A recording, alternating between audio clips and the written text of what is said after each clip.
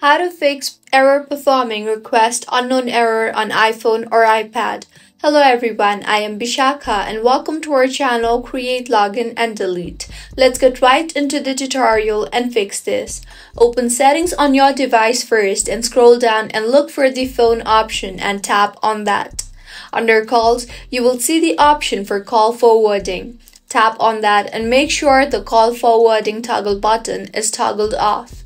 Go back to your home screen and tap on the phone application and make sure you are inserting correct PIN. You are most likely to get error when you add incorrect details.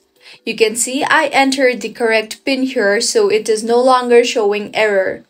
Now go to settings again, tap on cellular and then on cellular data options and make sure it is set to 4G or above.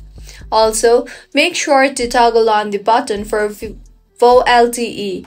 Go back and you will see the option for network selections. Make sure it is set to set automatically. Lastly, toggle on the button for airplane mode. Wait for a minimum of 60 seconds before turning it off again.